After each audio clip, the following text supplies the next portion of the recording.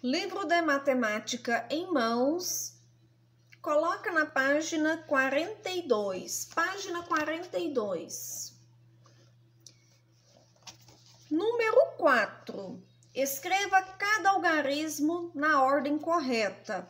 Então, nós vamos escrever aí os numerais aí na sua ordem. De acordo com a sua ordem, nós vamos escrever na ordem correta. Vamos ver quem acertou? Então, nós temos aqui o numeral 1965. Vamos colocar estes números aqui de acordo com a sua ordem. Então, mil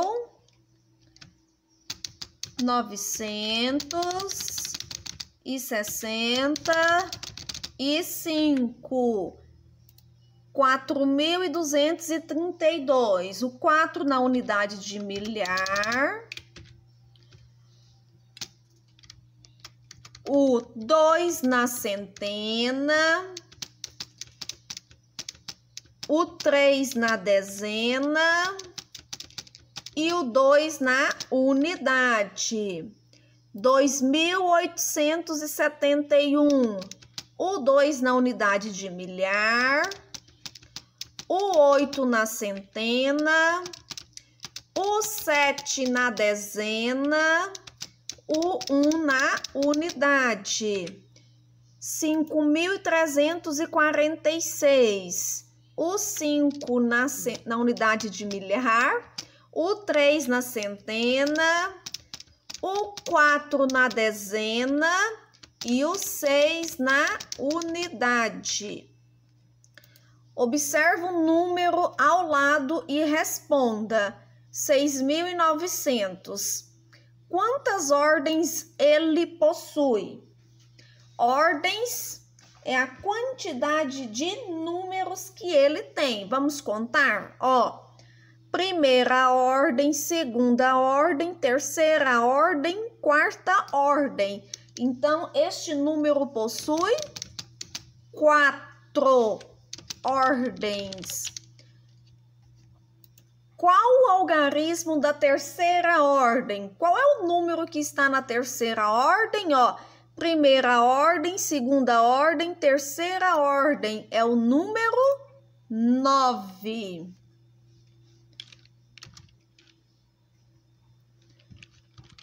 É o número nove numeral 9. Quantas classes ele possui? Quantas classes? Nós sabemos que para eu, para eu contar as classes, eu vou contando de três em três. Então, aqui, ó, um, dois, três forma uma classe. Um, já formou outra classe. Por quê? Porque nós temos a unidade de milhar. Então, ele possui duas classes, tá? Possui duas classes. Qual o nome dessa ordem?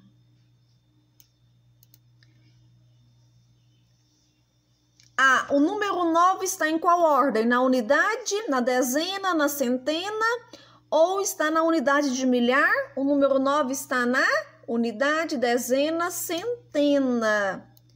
Então, ordem das centenas. Ordem das centenas. Qual algarismo que ocupa a ordem da unidade de milhar.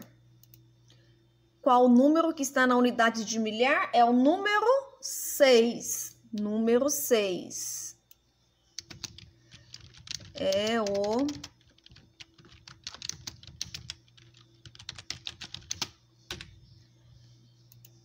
Que valor ele representa? Hum? Que valor o número 6 representa? Se ele está na unidade de milhar, ele representa 6 mil. 6 mil. Página 43, número 6. Escreva os números expressos pelas barras no quadro valor de lugar. Então, qual o número que vocês formaram aí de acordo com as barrinhas?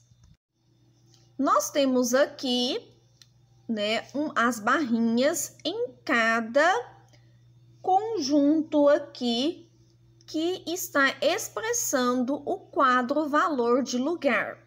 Então, vamos começar então, né, aqui na unidade de, de milhar. Quantas barrinhas tem? Nós temos uma barrinha na unidade de milhar, então vamos colocar numeral 1.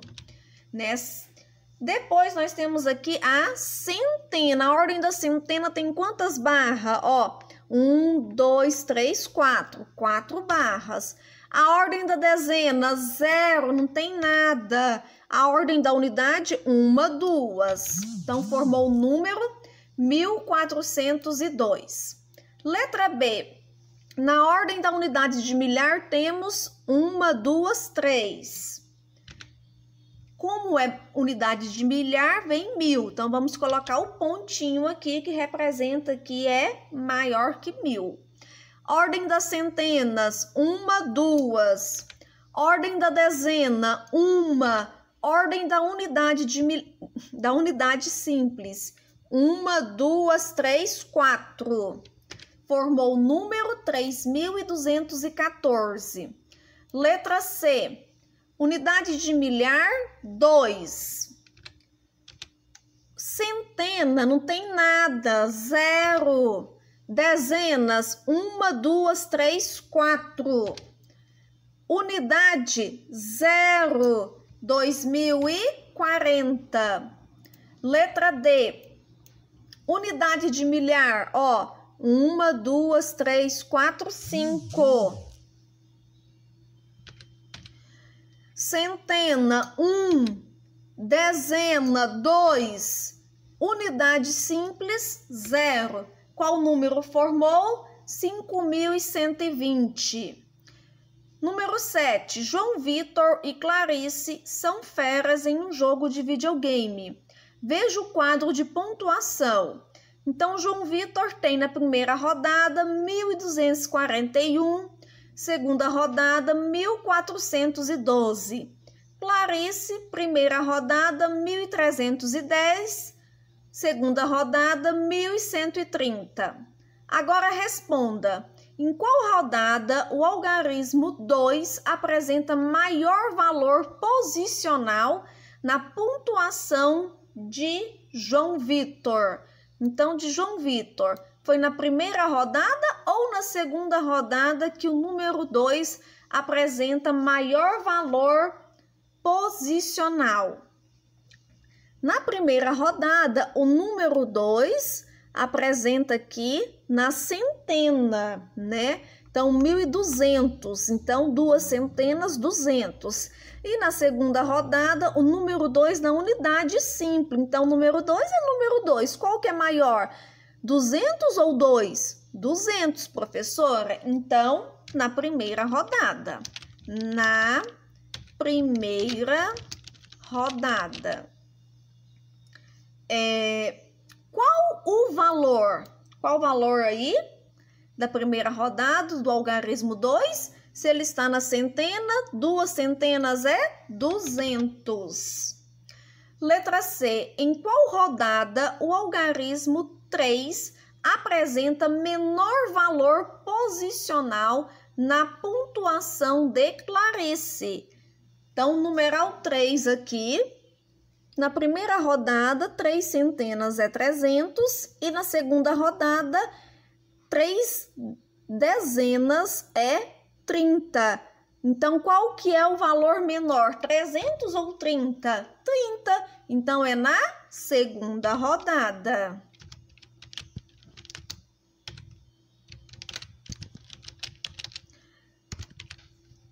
Qual valor? 3 dezenas é 30, então vamos colocar aqui 30. No número 8, nós temos aí o material dourado e vamos escrever o número de acordo com este material que está aí. Então, nós sabemos que o cubo aqui vale mil, que uma plaquinha dessa vale 100, que uma barrinha dessa vale 10 e que um cubinho desse vale 1.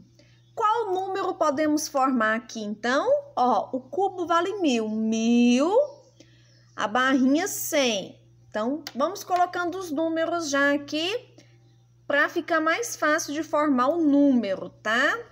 Então, um, o cubo, o, o cubo vale mil. Então, mil, a, a placa vale cem. Então, vale uma centena. Um, a outra placa vale 100, então duas centenas. A outra placa vale 100, três centenas. Então, se eu tenho três placas dessa, eu vou colocar o numeral 3. Depois eu tenho aqui duas barrinhas. Duas barrinhas dessa vale 20. 20 unidades. Mas vou colocar a, o, o valor que equivale a 20 unidades, que são duas centenas. E nós temos aqui, ó, um, dois, três, quatro. Quatro elementos aí. Então, numeral 4. Formou o número 1324. Letra B. Nós temos aqui, ó, uma, duas, três, quatro, cinco. Cinco plaquinhas que vale 100, equivale a cinco centenas. Depois eu tenho três barrinhas que vale 10 cada uma. Então, tenho 30. E depois eu tenho dois elementos aqui. Então, dois. 532. Letra C eu tenho dois cubos que vale mil, então eu tenho dois mil. Eu tenho aqui dezenas, ó, uma, duas, três, quatro. Quatro dezenas. Eu não tenho centenas. Se eu não tenho centenas, eu vou colocar o numeral zero. E aí sim eu coloco a minha dezena. Qual que é a quantidade de dezena? Quatro dezenas. E quantas unidades? Ó, um, dois, três, quatro, cinco, seis. Seis unidades. Agora, letra D. Eu tenho aqui dois cubos que vale mil. Então, se cada um vale mil, eu tenho dois mil. Depois, eu tenho duas placas que vale cem cada uma. Então, eu tenho 200 elementos aqui, que equivale a duas centenas. Depois eu tenho, ó, um, dois, três, quatro, cinco. Cinco barrinhas, então, cinco dezenas. E um, dois, três, quatro, cinco, seis, sete.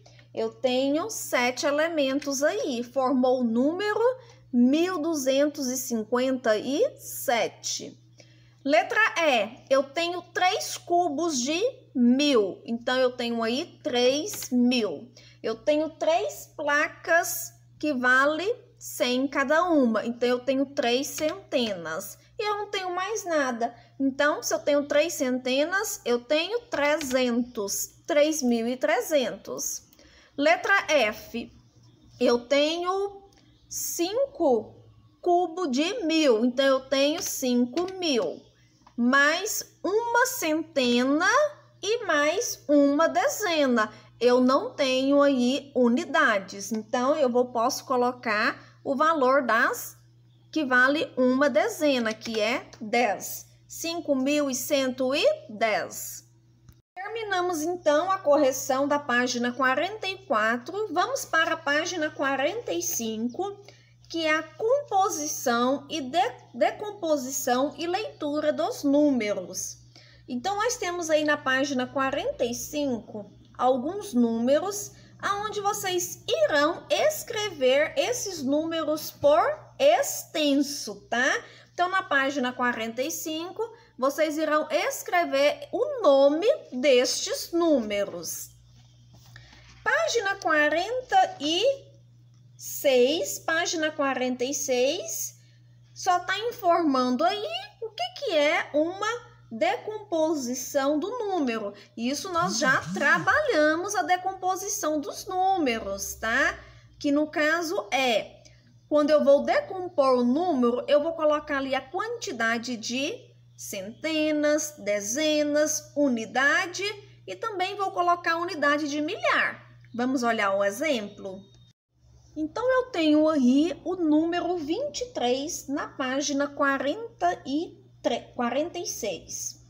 Vou pegar este mesmo número para mostrar para vocês como é a decomposição de um número e que nós já estamos trabalhando essa decomposição desde o início do nosso conteúdo sobre o sistema de numeração decimal.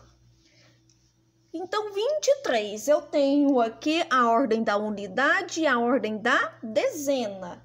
Então, quantas dezenas tem ele? Duas dezenas. Duas dezenas vale quanto? Vale 20, isso mesmo. Duas dezenas vale 20. Mais, quantas unidades tem esse número? 3. 3 unidades. Então, eu tenho aqui 20 mais 3, que formou o numeral 23, tá bom? Ou, ou, pode ser quantas? Quantas dezenas eu tenho aqui? duas dezenas. Eu tenho duas dezenas. E tenho quantas unidades? Vou colocar duas D de dezena, tá bom? E quantas unidades eu tenho? Mais três unidades.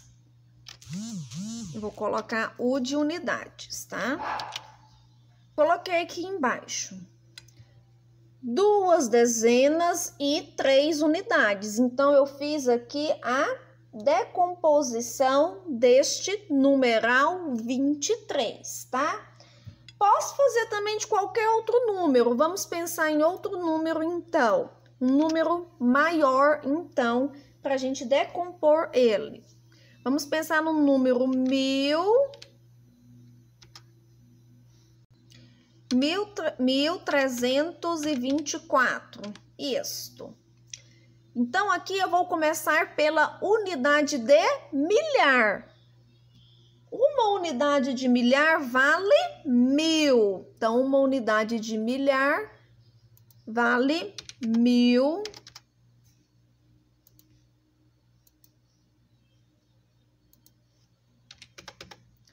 Mas Três centenas vale trezentos, mais duas dezenas vale vinte, mais quatro unidades são quatro elementos. Então, aqui eu fiz a decomposição desse número, somando ele, mil mais trezentos mais vinte mais quatro vai dar mil e trezentos e vinte e quatro, tá?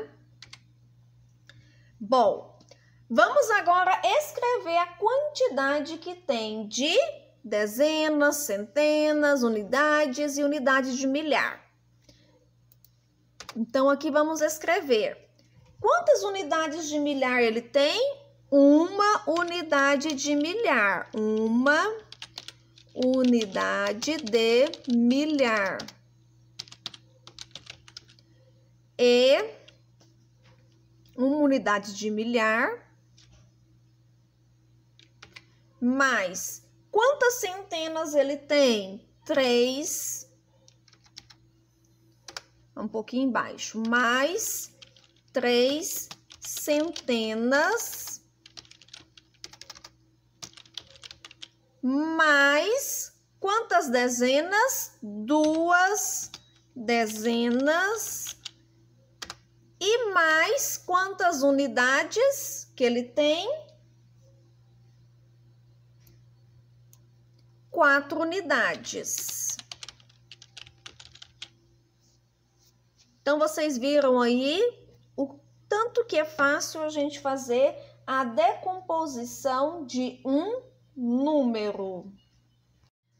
Então, vocês viram aí a decomposição e a composição de um número, tá? Quando eu vou fazer a decomposição, eu vou é, informar quantas unidades de milhar tem, quantas centenas, quantas dezenas, quantas unidades, tá? E quando eu vou compor aquele numeral, como que ele foi formado, né? Aí eu vou colocar lá a quantidade de zeros que tem na unidade de milhar, na centena, na dezena e na unidade simples eu só vou colocar o número, certinho?